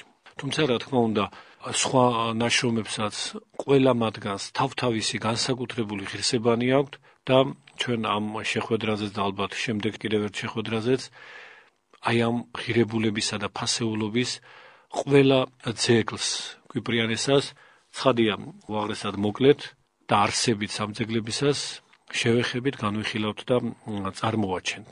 პირველ რიგში დავასახელებთ ისეთ ნაშრომს, რომელიც სათაურითვე ავლენს თავის მნიშვნელობას თხზულება, რომელსაც ეწოდება უფლის ლოცვის შესახებ. იგულისხმება ცხადია მამაუჩვენო ადრე როდესაც ტერტულიანეს მოღვაწეობას და საღვთისმეტყველო შრომებს განვიხილავდით, მიუთითებდით, რომ თითქმის ამავე მიზანდასახულობის ნაშრომი მასაც აქვს დაწერილი, რასაც ეწოდება ლოცვის შესახებ და ეს ნაშრომი კვიპრიანეს მიერ დეტალურად და სიღრმისეულადაა შესწავლილი, რაც კი ღირებულია ამ ნაშრომში ტერტულიანეს ამ შრომაში, უკლებრივ ყველაფერი გაზიარებულია წმინდა კვიპრიანესგან და ამიტომ როდესაც კვლევარები მიუთითებენ კვიპრიანეს გარკვეულ დამოკიდებულებაზე ამ ნაშრომის კუთხით ტერტულიანეს ანალოგიური ტიპის შრომაზე აი ეს გავლენა თუ დამოკიდებულება სწორედ ამ ხარეს გულისხმობს და ეს სავალდებულოცა ეკლესიის мама თუ რამ ღირსეულს ჭრეთს წინამორბედის ნააზრევში თავისთავად ცხადია იღებს კიდეც მას და ადგილსაც უთმობს თუნდაც იმავე მიზანდასახულობის უკვე მისგან დაწერილ შრომაში. ეკლესიის მამები არ ითავისებენ, ესე იგი საკუთრად არ მიიწერენ სხვათა ღირსეულ ნააზრევს, ამიტომ რაც კი ღირსეული არსებობს წინა ტრადიციაში, მათგან თავისთავად ცხადია მიღებულია და ეს არ ნიშნავს დღევანდელი გაგებით რაღაც ლიტერატურულ გავლენას. ესაა ერთი სულიერების წიაღში ურთიერთისადმი ხელის აღპყრობა, ანუ ხელის შეშველება, შეწევნა. აი ამგვარი შეწევნითი თვისებითა და შეწევნითი ნიშნით, რაც კი რამ ღირებული იყო ტერტულიანეს ნაშრომში, კვიპრიანეს ძეგლშიც ასახულია, თუმცა მათ შორის რა თქმა უნდა თვალსაჩინოა სხვაობაც. ეს სხვაობა განსაკუთრებით და დაკონკრეტებითად უფლის ლოცვასთან დაკავშირებით წარმოჩნდება, იმიტომ რომ თუ ტერტულიანეს ჩვენს მიერ ხსენებულ ძეგლში საკუთრივ საუფლო ლოცვის განმარტებას, მამაუჩვენოს განმარტებას, მთელი ტექსტის მხოლოდ მეოთხედი ეთმობა, კვიპრიანი კართაგენელთან არსებითი ყურადღება სწორედ მამაუჩვენოზეა გადატანილი და უდიდესი ნაწილი მისი ნაშრომისა სწორედ ამ ლოცვას მოიცავს და განიხილავს. კერძოდ 20 თავი ეთმობა მამაუჩვენოს განმარტებას მთლიანი ნაშრომიდან, ესა მე-7 27 თავები. შესავალი ნაწილი ამ ძეგლისა, როგორც მიღებულია და ვალდებული სიყო ავტორი, ზოგადად განმარტავს ლოცვის რაობას და ამავე დროს გახაზავს მამაუჩვენოს განსაკუთრებულობას. ეს ლოცვა წმინდა გვიბრიანის სწავლებით ყველა სხვა ლოცვას აღემატება, რა თქმა უნდა, ზოგადი ჯულდება, ასე შეგვიძლია ვთქვათ, საეკლესიო ჯულდება და თავისთავად ცხადია გვიბრიანისგან იგი აღიარებულია და ამ აღმატებულებას მამაუჩვენოსას გვიბრიანი ასაბუთებს იმით, რომ თვით ღმერთი მამა არის სათნომყოფელი ამ ლოცვის სიტყვათა სმენისა თავისი ძისგან. ესე იგი თვით მამა ღმერთმა ისათნოა რომ ძეს აი ეს ლოცვა კაცობრიურად აღმოეთქვა, ანუ ნიმუში მოეცა ჩვენთვის თუ როგორ გველოცა ზეციური მამისადმი. როდესაც იგივე სიტყვები, ამიტომ ჩვენს ბაგეთაგანაც აღმოითქმება, მას შემდეგ რაც უფალმა, როგორც უკვე ვთქვით, ტექსტობრივად ეს ლოცვა კაცობრიობას მიანიჭა, თვით ქრისტე გვევლინება მაშინ, ესე იგი ჩვენი ლოცვის ჟამს, მეწინამძღვრეთ ზეციური საყდრისკენ. ამ შესავალს მოძდევს შეგონებანი, თუ როგორი სიმწყობრით, როგორი გონების მოკრებითა და კრძალვით უნდა ვილოცოთ უზენაესის მიმართ. ყლავაც უარსებით ეს ერჩება ავტორისთვის მოწოდება ერთიანობისკენ. რაც როგორც არაერთის აღვნიშნავს განსაკუთრებით მკაფიოდ და რჯულდებითად კვიპრიანემ გამოთქვა ამის ჩვენს მიერ ადრე განხილულ და აქ ამჯერადაც ხსენებულ ნაშრომში ეკლესიის ერთიანობის შესახებ. კონკრეტულად ამ ნაშრომში, ესე იგი უფლის ლოცვის შესახებ, აი ამ შრომაში კვიპრიანე ერთიანობასთან დაკავშირებით ამგვარად გმოძღვრავს. ყოვლის უწინარეს შვიდობის მოძღვარმა და ერთიანობის მასწავლებელმა არინება რომ ამ ლოცვას პირადული, კერძოობითი სახე ჰქონოდა და ყოველ მლოცველს ოდენ თავის თავზე ეფიქრა. ჩვენ არ ვამბობთ, მამაო ჩემო, რომელი ხარ ცათაშინა. არ ვამბობთ, პური ჩემი არსობისა მომეც მე დღეს. ასევე არც ერთი ჩვენგანი არ ითხოვს, რომ მხოლოდ მას შეუნდოს უფალმა თანანადები, ანუ ვალი, ანუ დანაშაული გნებავთ ასე იყოს. არავინ ლოცულობს მარტოოდენ თავისი თავის განრიდებისთვის, განსაცდელთაგან და ბოროტისგან თავის დაღწევისთვის. ეს მხოლოობითი ფორმა, როგორც მსმენელი ხვდება რა თქმა უნდა, აი ამგვარი ღვთისმეტყველური სიღრმით არის განმარტებული და უკუგდებული კვიპრიანის განმარტებით უფლისგან, რომ ეს საზოგადო ლოცვად, ყველა ადამიანის ლოცვადაა დაწესებული ერთობლივი თვისების გამომხატველად, როდესაც ჩვენ ვლოცულობთ მარტო საკუთარი თავისთვის არ ვლოცულობთ და მას მრავლობითობა ლოცვის ტექსტისა თვალსაჩინოდ წარმოაჩენს. აი ამაზე ხაზგასმაა ყველაზე არსებითი ამ შემთხვევაში კვიპრიანესთვის. და იგი აი ამგვარი წინასწარი აღნიშვნის შემდეგ ასკვნის. ჩვენი ლოცვა იგულისხმება იგივე მამაუჩვენო და განზოგადებით უკვე ყველა სხვა ლოცვაც თავისთავად ხადია. სახალხოა, საზოგადოა. და როცა ჩვენ ვლოცულობთ, ვლოცულობთ არაერთისთვის, არამედ მთელი ხალხისთვის, რადგან ერთია ჩვენი ხალხი თლიანობაში.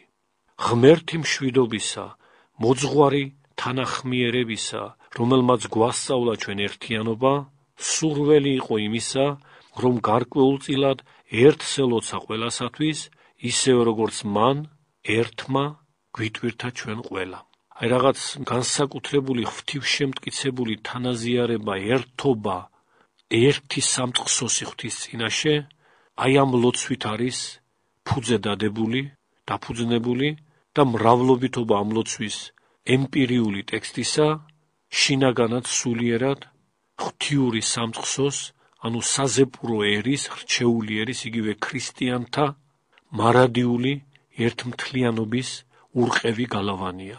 აი ამის დადასტურება, ამის გამოკვეთა და ლოცვის ამგვარი დანიშნულების განმარტება და წარმოჩენა აქვს მიზნად კვიპრიანე კართაგენელს. ფიქრობთ, ის სიტყვები რა ჩვენ აქ მოვიტანეთ, ყველა მორწმუნისთვის უაღრესად საგულისხმო უნდა იყოს იმის განსამარტავად თუ რა არის ლოცვა, რომ ლოცვა აუცილებლად კრებსითია, მრავლობითია, თელი ერისთვისა და არა კონკრეტულად კერძოობითად ერთი პიროვნებისთვის, ანუ თავისი თავისთვის. როგორც კვიპრიანეს სიტყვები რომ გავიმეოროთ, ერთია თავად უფალი, თავს მდები ყველა ჩვენთაგანი შეცოდებისა. ასევე უნდა მოსურნეობდეს ყველა მორწმუნე, რომ იტვირთოს ყველა სხვათა შეცოდებანი და ყველა ამ შეცოდებათა გამო მიტევება სთხოვოს უფალს. კვიპრიანეს სწავლებით და სხვათა შორის ამავე აზრისაა ტერტულიანეც უფლის ლოცვა თავის თავში მოიცავს თელ ქრისტიანულ სარწმუნოებას. ესეც უაღრესად ღრმა ღვთისმეტყველური განჭვრეტა. დათვით მიმართვა მამაო ჩვენო გამოხატავს ნათლისღების მადლით შეძენილ ჩვენს შვილობას მისდამი. არაერთგზის გვისაუბრია ჩვენ ამ თემაზე, ამ საკითხზე, ამ უაღრესად ღრმა სწავლებაზე, რომ უფალმა თავისი განკაცებისას ადამიანები შვილ ღმრთისა ხო, მისდამი მორწმუნენი მას მიდევნებული. ანუ აღუდგინა ადამიანებს ის დასაბამიერი შვილობა ღვთისადმი, რაც ცოდვის მიერმა უკეთურებამ გააუკუღმართა და გააუქმა და მოსპო და ამოწირკვა.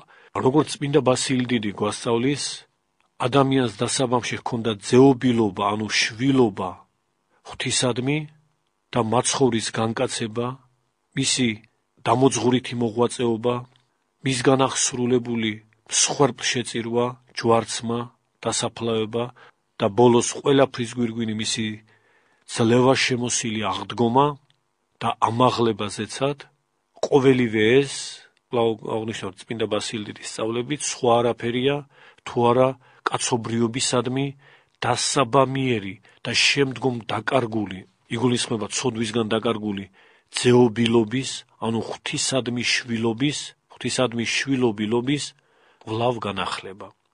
და მამაო ჩვენო სიტყვები ხსენებული საუფლო ლოცვისა, სწორედ იმის დასტურია, რომ ეს ძეობა თავდაპირველი მადლისმიერი ძეობა ღვთისადმი კაცობრიობისა უფლისგან აღდგინებულია სხვათა შორის ამავე სიტყვებს ძალიან ღრმა განმარტებით გვიხსნის ჩვენ და წარმოგვიჩენს თეოფილაქტე ბულგარელიც, რომლის სიტყვებით ჩვენ შესაბამის ნაშრომში რაც ადრეც გვიხსენებია, სადაც ამ საკითხს ვრცლად განვიხილავდით, ესე იგი ღვთისადმი ადამიანის ძეობილობის საკითხს, კერძოდ ეს გახლავთ ჩვენი შრომა და ინტერესებულმა მსმენელმა შეიძლება ნახოს მართლმადიდებლური ხატმეტყველება, სადაც სარჩევში შეუძლია ყოველას შესაბამისი თავები მოიძიოს, იქ ესე იგი შესაბამის მონაკვეთებში ბასილ დიდის და სხვა დიდ მოღვაწეთა განმარტებების გვერდით ვრცლად გვაქვს დამოწმებული თეოფილაქტე ბულგარელის განმარტებანიც, რომელიც ამ რავლობითობას და ერთი მხრივ და მეორე მხრივ უფლისადმი, როგორც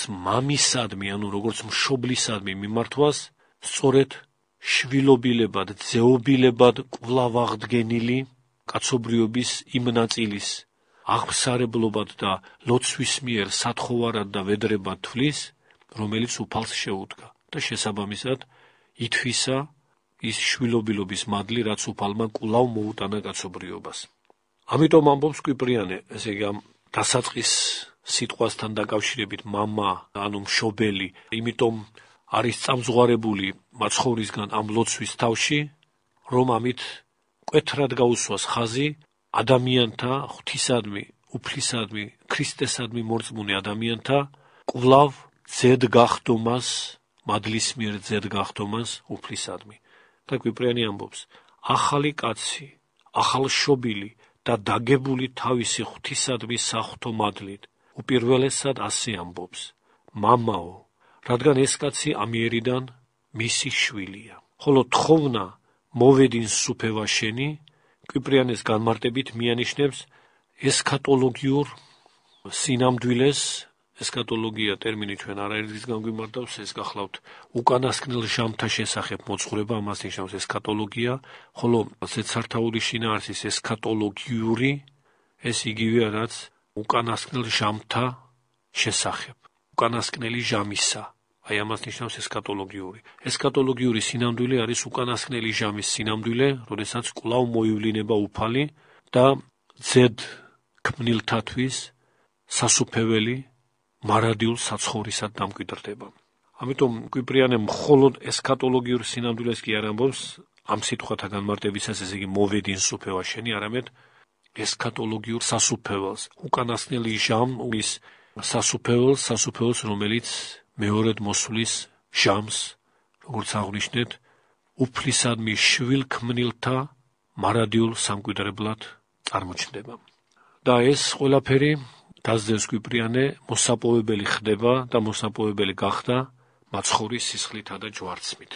პური არსობისა ეს ცნობილი და უაღრესად მრავალ აზროვანი, მრავალი უღრმესზე უღრმესი შინაარსის დამტევი გამონათქვამი პური არსობისა, კვიპრიანეს მითითებით არის ქრისტე, რომლის ხორცი პურის სახით გვეძლევა ზიარებისას. იგი ამბობს, კვიპრიანე, ჩვენ ვითხოვთ ეს პური მოგვებოძოს ყოველდღიურად, რომ ჩვენ, რომლებიც ქრისტეში ვცხოვრობთ და ყოველდღიურად ვიღებთ ევქარისტიას ცხონების საზრდოდ, არ ჩავიდინოთ მძიმე დანაშაული, რაც განგვაყენებს ზეციური პურისგან, უზიარებელ გვყოფს და განგვაშორებს ქრისტეს სხეულს. ესა მე-18 თავის ნაწილია ეს სიტყვები, რომლებიც ახლა მოვიტანეთ. და ბოლოს, ესე იგი ნაშრომის დასასრულს, კვიპრიანე ხაზს უსვამს, რომ თვით სამღდელო სიტყვებით და მრევლის პასუხით იმავე მიზანს ისახავს, რასაც საუფლო ლოცვა. კერძოდ რომ ზეციურისკენ, უფლისკენ გქონდეს გულისყური. კვიპრიანე გვაუწყებს: აი რატომ ხდება, რომ თვით მღდელიც ამ ლოცვის წინ შესავლის სახით ამზადებს ძმათა სულებს და ამბობს: ზე გვაქვდინ გულნი ეს მორწმუნეთათვის უაღრესად ახლობელი და მშობლიური სიტყვები რაც სიარებისას ტაძარში წარმოითქმის მამაო ჩვენოს აღვლენის ჟამს. ერი მიუგებს გვაქვს უფლისა მიმართ. და კვიპრიანე დასძენს: ამ სიტყვებით ის არის ნამცნები, რომ მხოლოდ უფლისად მიიღოს ჩვენი ფიქრი. კვიპრიანე კართაგენელის მოძღვრებით ყველა ის ლოცვა, რასაც შეერთვის მარხვაც, მყისვე ღმერთამდე აღიწევა, რომელიც კეთილმოწყალედ შეისმენს ჩვენს ვედრებას, რასაც თან ახლავს კეთილი საქმეები. ესე განუყოფლობა სათნოებითი სახეობებისა ერთი მხრივ ლოცვისა, მეორე მხრივ მარხვისა, მესამე მხრივ ქველმოქმედებისა, ანუ კეთილი საქმეებისა, განუყოფლობა ერთმთლიანობა მათი, როგორც ეს ყველა მართლმადიდებელ მოძღვართა სახეზეა, ქრონოლოგიური ნიშნით ერთ-ერთ უადრესთან და უდიდესთან, წმინდა კვიპრიანესთან, როგორც ნახეთ, სავსებით გამოკვეთილად ჩვენს ყველა მორწმუნის, ყველა ქრისტიანის სამოღვაწეო უეჭველ სამოღვაწეო პრინციპად არის დადგენილი და დაწესებული იმ ერთადერთი მიზანდასახულობით, იმ საღვთო მიზანდასახულობით, რომ ჩვენი ლოცვა, ჩვენი სათხოვარი ღვთისგან შესმენილი იყოს. და ამგვარი სათნოებითი დამოწურის შემდეგ ნაშრომში ნაუწყებია თუ როგორ უნდა აღსრულდეს ლოცვა. და ავტორი გვამცნობს, რომ ჩვეულებისამებრ ლოცვითი შეკრებანი ხდება მესამე, მეექვსე და მეცხრე ჟამს სამების პატივსაცემად. და ამიტომ კვიპრიანე გვირჩევს, რომ ვილოცოთ ცისკრად, წუხრზე და შუაღამისას. და როგორც ჩვენ ადრეც აღნიშნავდით, კვიპრიანე კართაგენელის უაღრესი განსწავლულობა, მეცნიერული კუთხით განსწავლულობა, ლიტურგიკულ და ზოგადად საღვთისმსახურო ტრადიციაში ამ შემთხვევაში იმ მხრივაც გახლავთ მნიშვნელოვანი, რომ მის დროისთვის, ესე კვიპრიანეს დროისთვის, მესამე საუკუნის შუა წლებისთვის, საეკლესიო ლიტურგიკა, საეკლესიო ღვთისმსახურება აი ამ სამ ჟამს გამოყოფდა და გამოარჩევდა კრებითი ლოცვისთვის და ლოცვითი მიმართვისთვის და ვედრებისთვის უფლისადმი. მესამე, მეექვსე და მეცხრე ჟამს. ნაშრომი ბოლოვდება იმის აღნიშვნით, რომ ჭეშმარიტი ქრისტიანი მოუკლებლად უნდა ლოცულობდეს დღითა და ღამით. აქვე ჩვენ უნდა შევეხოთ ნაშრომს, ესე გარდა ძეგლისა და ვფიქრობ მსმენელი დარწმუნებოდა, რომ ჭეშმარიტად გამორჩეული ღირებულების ნაშრომი იყო თხზულება უფლის ლოცვის შესახებ, მაგრამ ამ ლოცვასთან ერთად ჩვენ აუცილებლად უნდა შევეხოთ კიდევ ერთ ნაშრომს კვიპრიანესას სახელწოდებით დემეტრიანუსის ადმი.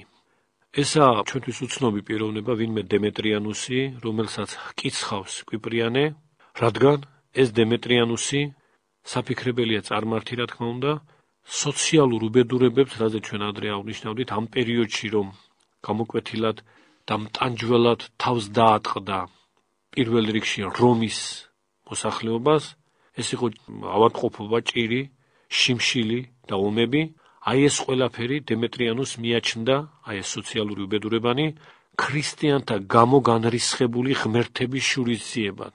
წარმართა შორის ეს მიღებული, ასე ვთქვათ, არგუმენტი იყო იმის ასახსნელად, თუ რატომ დევნიდნენ ისინი ქრისტიანებს.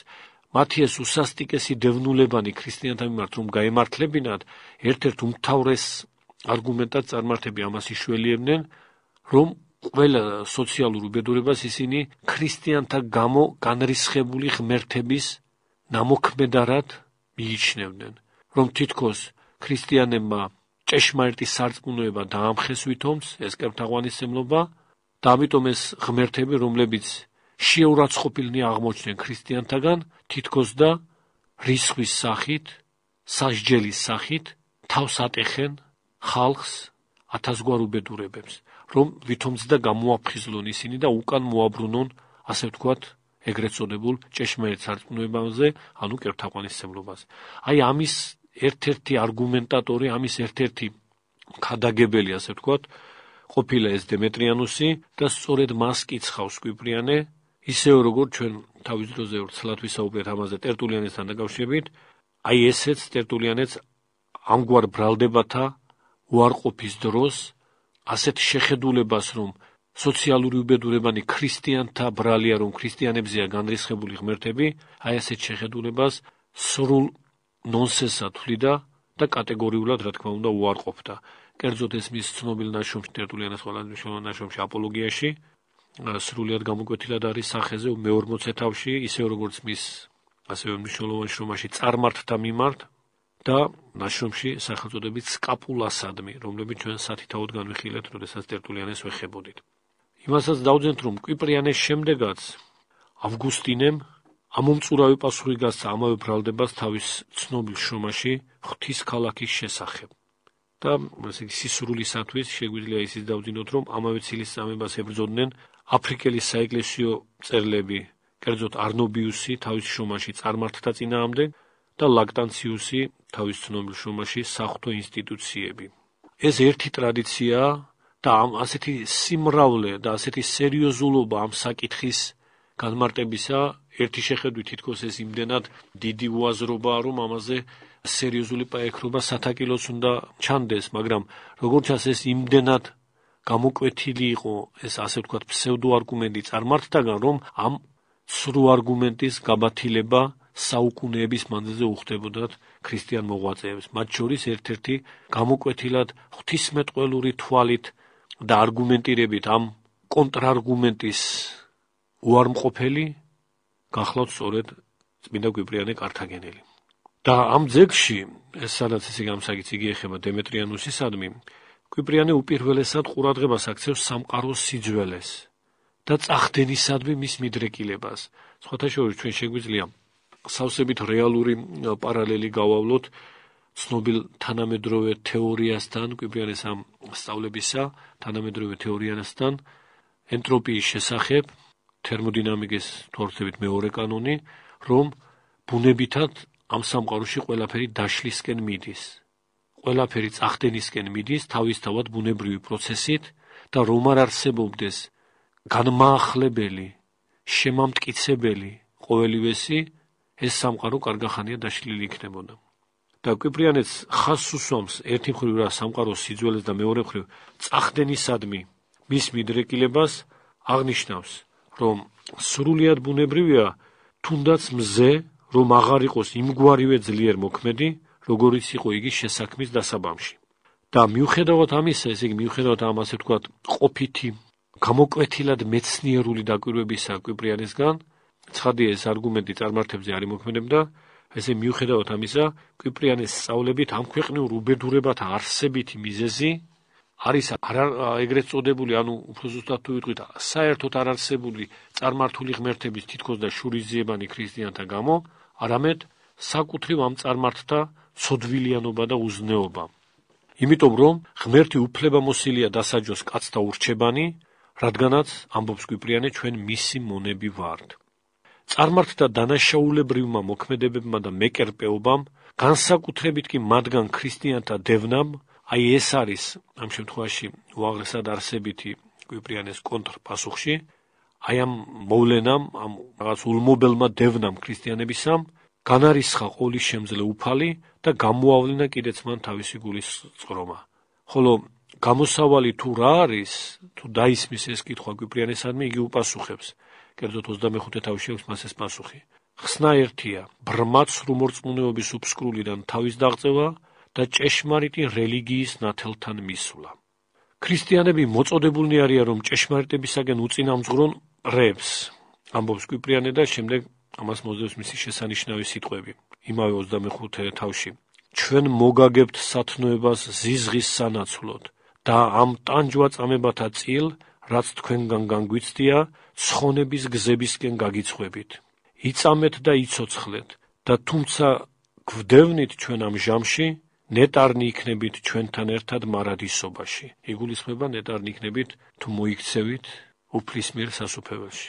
მაგრამ ესა ყველა დროის მარადდამოძღვრელი შეგონება, ჩვენი აზრით, მათ შორის ქრისტიანთა მარადდამოძღვრელიც და პირველ რიგში სწორედ ქრისტიანებისა, რომ ზიზღზე ზიზღით არავინ არ უნდა უპასუხოს, ძალადობაზე ძალადობით არ უნდა უპასუხოს არც ერთმა ჭეშმარიტმა ქრისტიანმა, რომ ძალადობა, მოშურნეობა, ზიზღი და სხვა ამგვარი უკეთურქმედებანი აბსოლუტურად შეუთავსებელია თვითქრისტიანის სახელწოდებასთან და იმ საფრთხო მოძღვრებასთან, რომელიც ღვთისგულ მოწყალებას ეფუძნება. კვლავ გავიმეორებთ ამ სიტყვებს. წარმართთა მიმართ თქმულს კვიპრიანესგან ჩვენ მოგაგებთ სათნოებას ზიზღის სანაცვლოდ და ამ ტანჯვა წამებათა წილ რაც თქვენგან განგვიცდია ცხონების გზებისკენ გაგიცხვებით. აი აქ ცხონების გზებისკენ გაძღულაზე ვამახვილებთ ყურადღებას. ამ გზაზე ვინც წახყვება ქრისტიანებს იმათთან ერთად იქნება რა თქმა უნდა ნეტარება მარადისობაში. იწამეთ და იცოცხლეთ და თუმცა გვდევნით ჩვენ ამ ჟამში ნეტარნი იქნებით ჩვენთან ერთად მარადისობაში. აღნიშნული ნაშრომი კვიპრიანეს ნაწერთა შორის გახლავთ ყველაზე უფრო, როგორც მიუთითებენ მკვლევარები, სიღრმისეული და ორიგინალური, ორიგინალური ეკლესიური საუკეთესო გაგებით.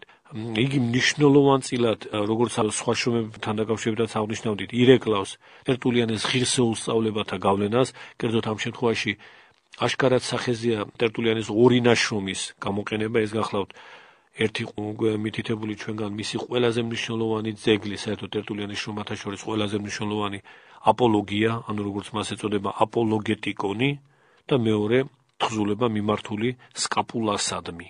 სხვათა შორის ერთ-ერთი შენიშვნა ამ ძეგლისადმი, კვიპრიანის ძეგლისადმი საფრთხო წერილის ციტატების სიმრავლესთან დაკავშირებით გამოთქმულა, კერძოდ ლაქტანციუს აქვს ეს შენიშვნა გამოთქმული ბიბლიურ მოწმობათა სიჭარბის გამო, ეს შენიშნებას აქვს გამოთქმული თავის ნაშრომი საფრთხო ინსტიტუციების მეხუთე თავის მეოთხე ქვეთავში. რადგან მისი აზრით, ლაგდანციუსის აზრით, ეს ციტატები ვერაფრითარ ეფექტს ვერ მოახდენდა დემეტრიანუსზე.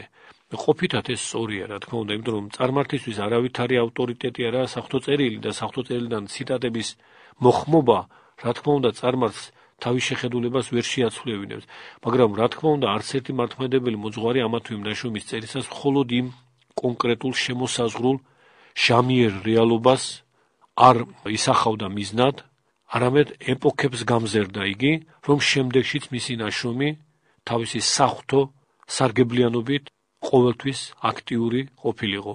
ამიტომ მართალია იმ ჟამს და შემდეგშიც და თუნდაც დღეს წარმართისადმი კონკრეტულად ეს ციტატები არაფრის თქმელი არაა, მაგრამ ეს ნაშრომი მხოლოდ წარმართებისადმი არაა დაწერილი, რა თქმა უნდა, მიუხედავად ისა, რომ მათ მიემართება ეს ძეგლი ყველა ქრისტიანის დამოწურებელია ამავე დროს. და ამ ძეგლში რაც წარმართებისთვის აუცილებელია ეს ყველაფერი სახეზია, მაგრამ მხოლოდ ამით არაა შემოფარგლული ავტორი, იმიტომ რომ წარმართებთან ერთად ამ ძეგლის სამკითხველად მას თაობათა მიღმა მრავალი და მრავალი ქრისტიანი ეგულვის. ამიტომ ჩვენ თვლით რომ ლაქტანციუს ეშენიშნა ყოფით რეალობას ეხება მხოლოდ და ზოგადი დანიშნულება ამ ძეგლისა მისგან შეიძლება ითქვას რომ ბოლომდე დანახულივე არ არის. თუმცა თვითონ ლაქტანციუსი მიუთითებს რომ იგი ამჯობინებდა უფრო მეტად ყოფილიყო წარმოდგენილი რაციონალური არგუმენტები. მაგრამ კვლავ აღნიშნავთ რომ და ვფიქრობთ გასაგებია რომ კვიპრიანეს მიზანდასახულობა იყო არაიმდენად დემეტრიანუსის დაძლევა არამედ ქრისტიანთა გამხნევება რწმენაში, წარმართთა ბრალდებების, ზემოაღნიშნული ბრალდებების წინაშე. და დაუძენთ ბოლოს რომ პონტიუსი, რომელსაც ჩვენ რამდენჯერმე ვახსენებდით, ამ შრომას ასახელებს ზემოგანხილული ნაშრომის, ესე იგი, ნაშრომის, რომელსაც ეწოდება უფლის ლოცვის შესახებ, აი ამ ნაშრომის შემდეგ. ამის გამო მკვლევართა უმრავლესობა აღნიშნული ძეგლის დაწერის თარიღად დაახლოებით 252 წელს მიიჩნევს. ჩვენ დროებით აქ შევჩერდებით. გმადლობთ ყურადღებისათვის. განვაგრძობთ საუბრებს ქრისტიანული ლიტერატურის ისტორიიდან. ჩვენ კვლავ წმინდა გვიბრიანე კარტაგენელის შესახებ გვიწევს განხილვა და საუბარი. რა თქმა უნდა, ეს უდიდესი მოღვაწე, როგორც დასაწყისშივე აღნიშნავდით, ერთორ შეხვედრაზე ვერ წარმოჩნდება თუნდაც ყველაზე უფრო უზეგადესი განხილვით, ოდნავადაც ვერ გამოიკვეთება მისი ღირსებანი, ამიტომ გარკვეული გახანგრძლივება საუბრებისა ფიქრობ გასაგვირი არ უნდა იყოს. ჩვენ 6 ძეგლი ამ მოღვაწისა განვიხილეთ, ყველა მათგანი უარესად მნიშვნელოვანი, მრავალი კუთხით ფასეული აღსანიშნი და ყველაზე უზოგადესი კუთხით დახასიათებამაც კი ფიქრობ ნათლად გამოკვეთა ის განსაკუთრებული საღვთისმეტყველო ღირებულებანი მართლმადიდებლური ცნობიერების ის მართლაც განსაკუთრებული და თვალშეუდგამი სიმაღლე რაც კვიპრიანი კართაგენელს ახასიათებდა ამ რანგში ამ რიგში უნდა ვიგულისხმოთ მისი სხვა შრომებიც რომელთაგან პირველ რიგში განვიხილავთ ნაშრომს სახელწოდებით მოკვდავობის შესახებ. ეს შრომა იმის შემდეგაა დაწერილი, რაც დაცხრა დეკიუსის დევნულება დაახლოებით 251 წლის შემდეგ, ესე იგი, მაგრამ დაცხრა რა ეს დევნულება უბედურება ამით არ დამთავრებულა ჩვენს წინასაუბარში ამ საკითხზე საკმაო განხილვები ქონდა რომ მოსახლეობას თავს დაატყდა დევნულებათა შემდეგ ეპიდემია ჭირი 252 წელს, რამაც მრავალი ადამიანის სიცოცხლე შეიწირა.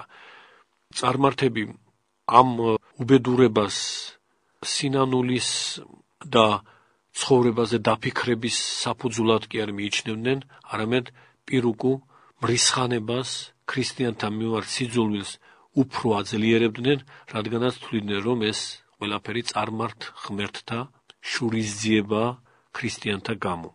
მრავალმა მოღვაწემ ასეთი უბედურებანი რა თქმა უნდა მხოლოდ კვიპრიანის დროს არ ხდებოდა მანამდეც იყო როგორც აღნიშნავდი ტერტულიანის დროსაც კვიპრიანის დროს უფრო მოგვიანებით მეხუთე საუკუნეშიც კი ეს პაექრობა წარმართებისა და ამგვარი არგუმენტის მოშველიება სოციალურ უბედურებათა ასახსნელად სახეზე იყო და მრავალი ღირსეული შრომა დაიწერა ამ ფსევდო არგუმენტის გასაბათილებლად. პირველ რიგში რაც ჩვენ ვიცით დღეისათვის ტერტულიანისგან, შემდეგ კვიპრიანე კართაგენელისგან, მოგვიანებით არნობიუსისგან და ლაქტანციუსისგან და ბოლოს ავგუსტინესგან. აი ამ მოვლენასთან დაკავშირებულია ეს შრომაც, ესე იგი ამ სოციალურ უბედურებასთან დაკავშირებული ეს ნაშრომით სახელწოდებით მოკვდავობის შესახებ. ესე იგი სწორედ ამ ეპიდემიის გავრცელების მოვლენასთან დაკავშირებით იწერება აღნიშნული შრომა, სადაც მოცემულია დასაბუთება იმისა, რომ ყველაზე უფრო მკვეთრად განმასხვავებელი ნიშანი ქრისტიანსა და წარმართს შორის გახლავთ სიკვდილისადმი მათი დამოკიდებულება. ესე იგი ეს ნაშრომი ამ შემთხვევაში თვით მოვლენას განიხილავს ღვთისმეტყველურად, სოციალურ უბედურებას კი არ ხსნის, არამედ სოციალური უბედურების შედეგს, სიკვდილს, საღვთისმეტყველო განმარტებას უძებნის და ამ კუთხით ღვთისმეტყველური თვალსაზრისით ეს ნაშრომი ჭეშმარიტად გამორჩეულია კვიპრიანის შრომებში. ესე იგი ეს ხაზგასმა რომ სიკვდილისადმი დამოკიდებულება კვეთრად განასხვავებს ქრისტიანსა და წარმართს შემდეგნაირად ახსნილი კვიპრიანესგან. მორწმუნისათვის ამბობს იგი სიკვდილის სხვა არაფერია თუ არა გარკვეული მოსვენება და დასვენება ბრძოლის შემდეგ. ესა, ესე იგი სიკვდილი ქრისტეს მიერი მოწოდება, ესე ქრისტე თავისკენ უწოდებს იმას, ვინც კვდება. უფლისმიერი ხმობა. სიკვდილი კარიბჭეა მარადისობისა და მას მოაქვს საუკუნო საზღაური. არავის მორწმუნეთაგანს არ ეეჭვება რომ იგი, ესე იგი ეს მორწმუნე, სიკვდილის შემდეგ უკეთეს სოფელში გადავა. კვიპრიანი ჩვენ აი ამგვარად მოძღვრავს და ვფიქრობ ეს არის ძალიან საგულისხმო იმ მრავალ დამოძღვრათა გვერდით, რაც ჩვენ უკვე მოვიტანეთ, ერთ-ერთი უაღრესად საგულისხმო დამოძღვრა. გავაცნობიეროთ, ჩემო უძვირფასესო ძმებო და გულისხმავყოთ შამითი ჟამად, რომ ჩვენ დავთმეთ ეს სოფელი და ვცხოვრობთ აქ, როგორც სტუმარნი და უცხონი. ვესწრაფოთ იმ დღეს, რომელიც ყველა ჩვენგანს განუწესებს მისთვის შესაფერის სავანეს და რომელიც, აი ესე იგი ის დღე, ამა ქვეყნიდან ჩვენი წარტაცებისა და ამა სოფლის მხარეთაგან განშორების შემდეგ სამოთხეში და ცათა სასუფეველში გადაგვანაცვლებს. ვინ იქნება იმგვარი ადამიანი, რომელიც უცხო მხარეში იძულებითი ცხოვრების შემდეგ იგულისხმება ამ ქვეყნად, ესე იგი ქრისტიანისთვის ეს არის ჭეშმარიტად უცხო მხარე და აქ ის იძულებითა, იმიტომ რომ ადამმა რომ შეცოდა, ის განდევნილი იქნა სამოთხისგან, მას ნებაყოფლობით სამოთხე არ დაუტოვებია, ცოდვამ განდევნა იგი სამოთხისგან და ცოდვის მერი იძულების ქვეშა ამ ქვეყნად მცხოვრები ყველა ჭეშმარიტი მორწმუნე. ყველა ადამიანი რა თქმა უნდა, მაგრამ ნაწილია ვერაცნობიერებს ამას, ხოლო ვისაც ჭეშმარიტი სარწმუნოება აქვს, იგი აცნობიერებს, რომ უცხო მხარეში მყოფობს, უცხო მხარეში ცხოვრობს ძალდატანებული გზით. ცოდვისგან ძალდატანებული და იწულებითი გზით. ამიტომ კვიპრიანი განაგზობს, ვინ იქნება იმგვარი ადამიანი, რომელიც უცხო მხარეში იზულებითი ცხოვრების შემდეგ არ ესწრაფოდეს სამშობლოში დაბრუნებას. ჩვენი სამშობლო ზეცაა. ჩვენ მამებად გვყავს მამათ მთავრები, ვისწრაფოთ, ვისრბოლოთ იმისთვის, რომ ვიხილოთ ჩვენი სამშობლო და მამები. მეგობართა დიდი სიმრავლე მოგველის ჩვენ, ახლობელთა ძმათა და ყრმათა საკრებულონი, რომლებსაც სწამთ საკუთარი ცხონებისა. ჩვენსაზე მოფიქრალნი იმას მოსურნეობენ, რომ ჩვენს შევერთოთ მათ. რაოდენია ზიარი სიხარული მათთვისაც და ჩვენთვისაც. კვლავ ვიხილავთ რა მათ და შევეტკბობით.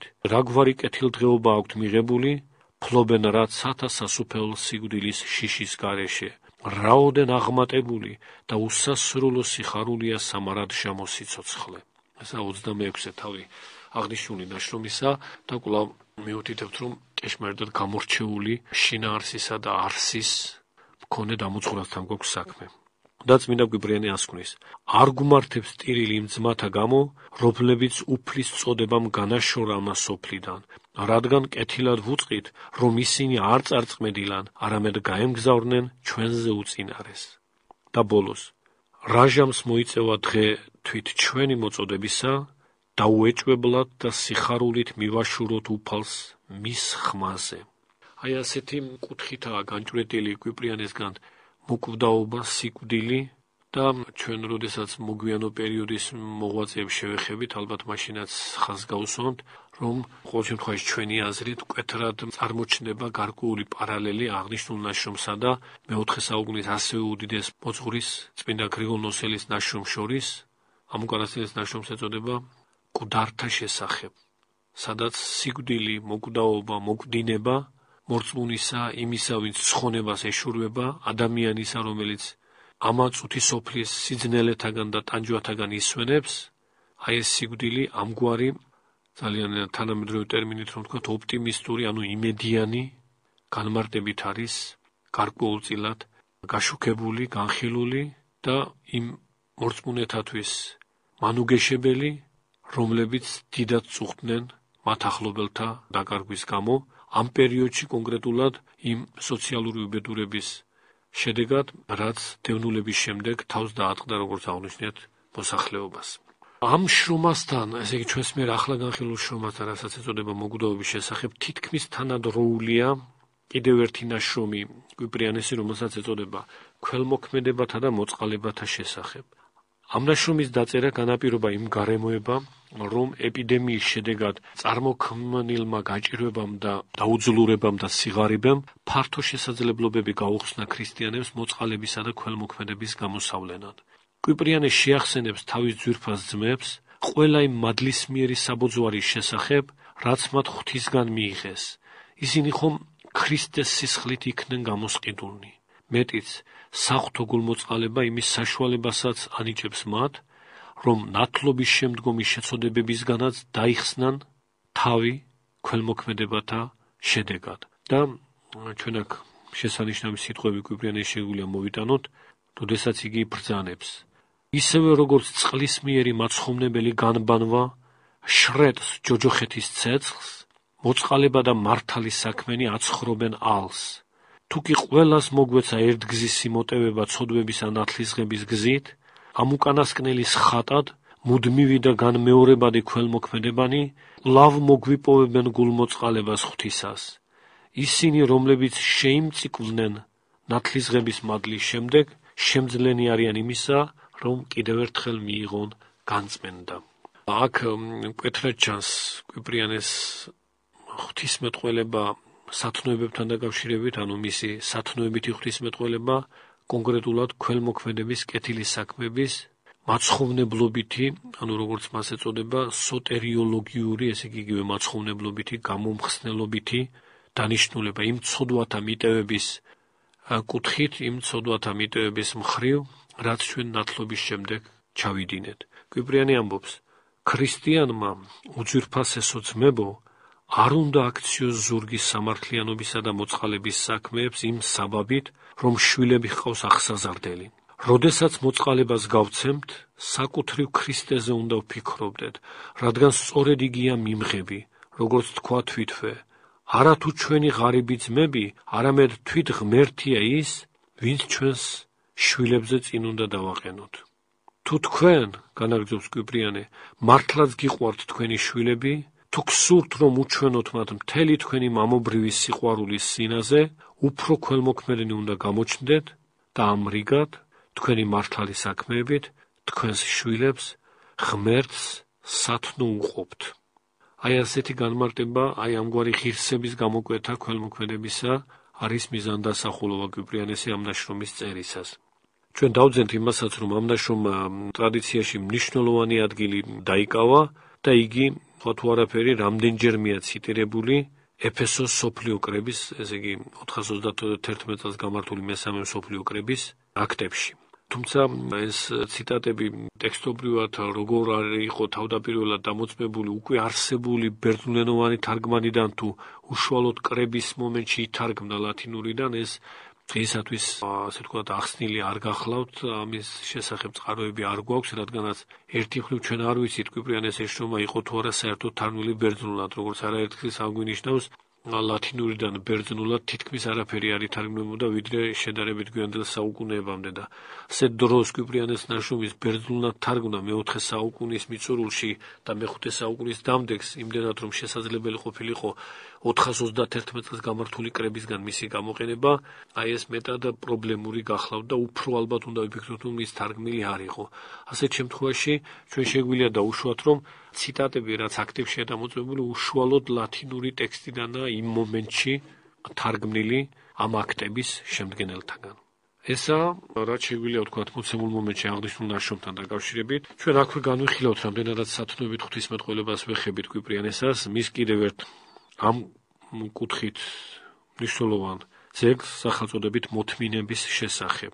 უფრო ზუსტი იქნება თუ კალკირებულად თარგმნით კეთილმოთმინების შესახებ. ეს ნაშრომიც კვიბრიანეს ბევრი სხვა ნაშრომის გავსად ღირსეულ ნაწილში ეღდნობა ტერტულიანეს ანალოგიური სახელწოდების შრომას მოთმინების შესახებ.